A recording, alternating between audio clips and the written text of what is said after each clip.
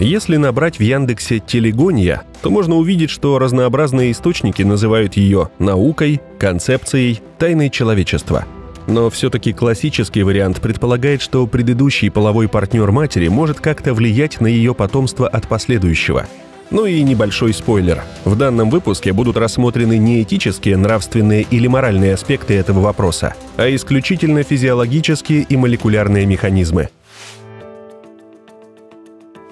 Датой рождения телегонии как понятия можно считать 1868 год, когда Чарльз Дарвин в своей книге «Изменение животных и растений в домашнем состоянии» привел разнообразные свидетельства этого явления. Большинство из них представляли собой рассказы очевидцев, полученные Дарвином через третьи руки.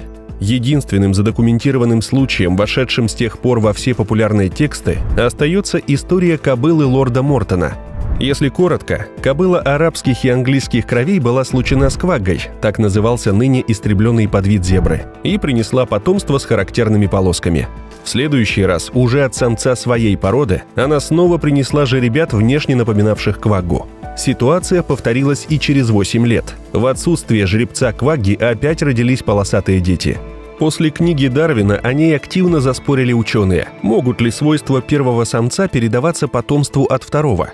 Бум научного исследования телегонии пришелся на конец 19-го, начала 20 века с многочисленными гипотезами и экспериментами для их проверки. Однако ни один эксперимент это явление подтвердить не смог. Ни крысы, ни мухи, ни даже лошади не соглашались наследовать признаки таким необычным образом. Но не все так просто, и современная наука, как говорится, подбросила дровишек – Один из самых крупных поисковиков научной литературы PubMed по запросу Телегони предлагает всего 8 ссылок на статьи, намекая тем самым, что тема не является актуальной и широко исследуемой. Начнем с довольно спорного научного аргумента, который приводит большинство авторов. Это статья 2014 года, в которой явление, похожее на телегонию, было показано на мушках-нереидах. Самок спаривали последовательно с двумя самцами, и оказалось, что размер потомства зависит от размеров первого самца – Формально это явление можно отнести к телегонии, но передачей наследственной информации назвать нельзя, потому что эффект достигается за счет белков семенной жидкости, которые остаются в организме самки и действуют на незрелые яйцеклетки, стимулируя их рост или перераспределение ресурсов. Едва ли можно на таком основании заключать, что у других животных, и тем более у человека, этот механизм тоже будет работать. Казалось бы, все, точка – тем не менее, на самом деле современные ученые знают о телегонии гораздо больше, чем кажется. Однако они пользуются совсем другим термином – не менделевское наследование.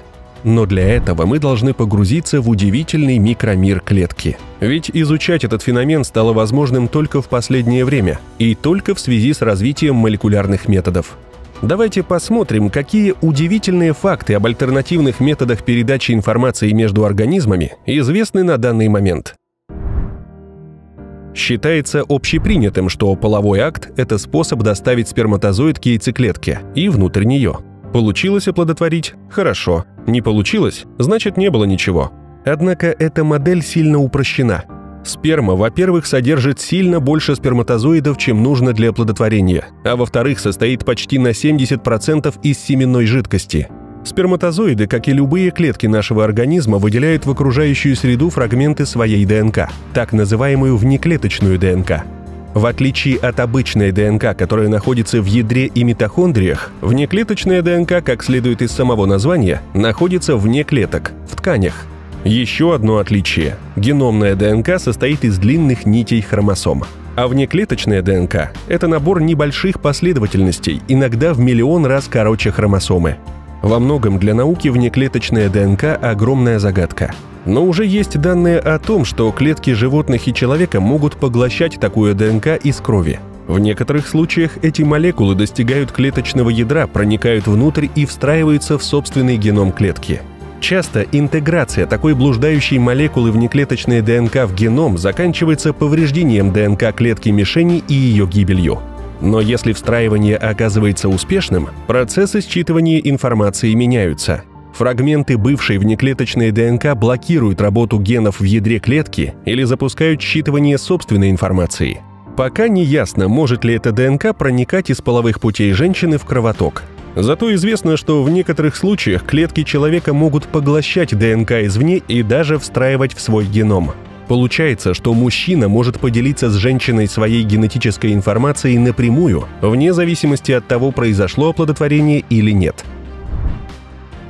Сами сперматозоиды тоже активно захватывают нуклеиновые кислоты из окружающей среды и передают яйцеклетке при оплодотворении. Поэтому можно предположить, что если внеклеточная ДНК первого партнера останется, например, на стенке яйцевода, то сперматозоид второго партнера способен ее поглотить и передать будущему зародышу.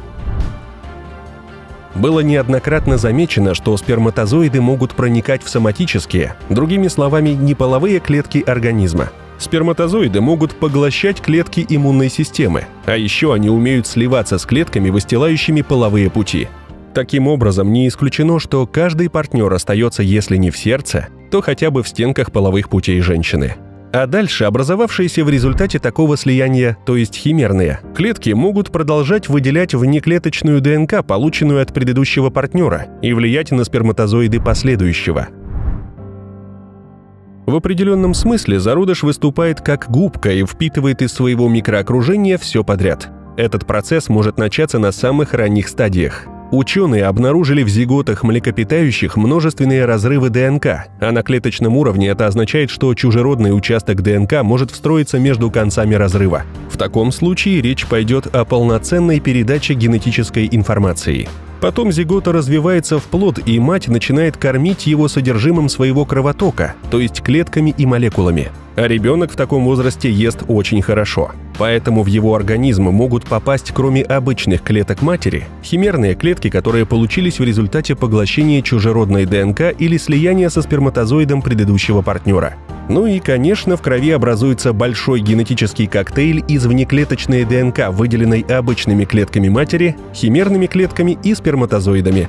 Всю эту ДНК клетки зародыша гипотетически могут захватить. Этот механизм сложно считать наследованием генетической информации ребенком от не отца, так как не все клетки плода будут эту информацию нести.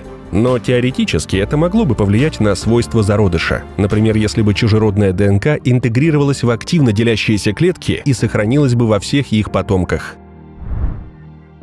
Мать и зародыш ведут непрерывный клеточный обмен. Клетки матери встраиваются в ткани зародыша. В то же время клетки зародыша поселяются в органах матери. Оба организма становятся химерными. Что характерно, при этом абсолютно неважно, чем заканчивается беременность. Даже при абортах и выкидышах, если они происходят на достаточно поздней стадии, клетки плода успевают колонизировать материнский организм. Отдельно стоит отметить феномен исчезающего близнеца. При этом из зародышей близнецов один выживает, а другой рассасывается, но тоже часто оставляет свой клеточный след – Получается, что среди материнских клеток, заселяющих ткани плода, могут встретиться клетки его старших братьев и сестер, как существующих, так и не родившихся. И если они были зачаты от другого отца, то плод получает чужую генетическую информацию. Плюс внеклеточная ДНК, которую все эти клетки продолжают выделять. Эти постоянные миграции клеток и молекул, незаметные на первый взгляд, приносят неожиданные результаты – Ученые в нескольких исследованиях искали у женщин, девочек и зародышей женского пола в крови и тканях фрагменты Y-хромосомы. Это называют мужским микрохимеризмом. И обнаружили в этом исследовании у 14%, а в этом аж у 75%. Во всех случаях было очевидно, что испытуемые не больны генетическими заболеваниями, и Y-хромосома присутствует не во всех клетках – Обычно в качестве причин микрохимеризма называют предыдущие беременности у женщин или наличие старших братьев. Еще одним фактором называют переливание крови, ведь она тоже несет с собой внеклеточную ДНК. Однако даже все вышеперечисленные факторы вместе взятые не объясняют всех случаев мужского микрохимеризма. Так что ученые вынуждены предполагать еще какие-то окольные неведомые пути, которыми Y-хромосома проникает в женский организм. Y-хромосома была выбрана для исследования микрохимеризма как самый простой объект. Это большой участок ДНК, который гарантированно не должен встречаться в женском организме, поэтому его там легко обнаружить. Для того, чтобы выявить чужеродную ДНК из других хромосом, потребуется гораздо более сложный и детальный анализ. Можно себе представить, сколько на самом деле чужеродного генетического материала оказывается в организме женщины, если одна только Y-хромосома обнаруживается в таких количествах – Кстати, очевидно, что у детей мужского пола должны работать те же механизмы, и они тоже должны становиться химерами. Просто это гораздо сложнее показать. Несмотря на то, что все эти факты кого-то могут шокировать, есть и контраргументы. Во-первых, все вышеперечисленные события маловероятны. Например, и слияние сперматозоида с соматической, то есть неполовой клеткой, и поглощение клеткой фрагментов внеклеточной ДНК, все эти моменты в экспериментах были показаны лишь в небольшом проценте случаев. Для полноценной передачи потомству информации о свойствах предыдущего партнера должно произойти несколько таких маловероятных событий, а значит суммарная вероятность еще меньше. Во-вторых, ни один случай телегонии у человека и даже у млекопитающих достоверно зафиксирован не был. Научные статьи предлагают нам точные данные лишь об отдельных кусочках возможного процесса. Например, если сперматозоиды и сливаются с соматическими клетками, что для этого нужно? Может быть, они делают это просто потому, что это их основная функция? Наука не знает ответа на этот вопрос. В-третьих, передача ДНК не обязательно влечет за собой наследование признака. Участок ДНК может нести значимую информацию, а может представлять обрывок гена или некодирующий участок. И тогда его наличие никак не скажется на клетке, не говоря уже об организме. Более того, поглощение ДНК клеткой еще не означает, что эта ДНК будет функционировать. Для этого ей нужно встроиться в определенные участки хромосомы или привлечь к себе множество белков, отвечающих за считывание информации. Наконец, даже если эта чужеродная ДНК встроится в хромосому и начнет там работать, в большинстве случаев из нее получится какой-нибудь белок, являющийся промежуточным звеном в обмене веществ или передаче информации в клетке, и мы об этом никогда не узнаем. Вероятность, что этот белок окажется тем самым, отвечающим за легко распознаваемый признак – цвет глаз или кожи, да еще и не встречающимся у официальных родителей ребенка, оценивается как очень низкая. Ну, по крайней мере, официальной наукой. В любом случае, главный вывод такой. Наши организмы связаны друг с другом несколько теснее, чем мы привыкли думать.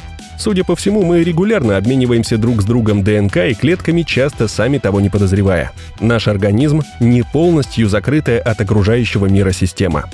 Пишите в комментариях, что думаете после такой экскурсии в микробиологию. Оценивайте выпуск, если он дал пищу для размышлений. И до встречи в следующем выпуске на нашем канале.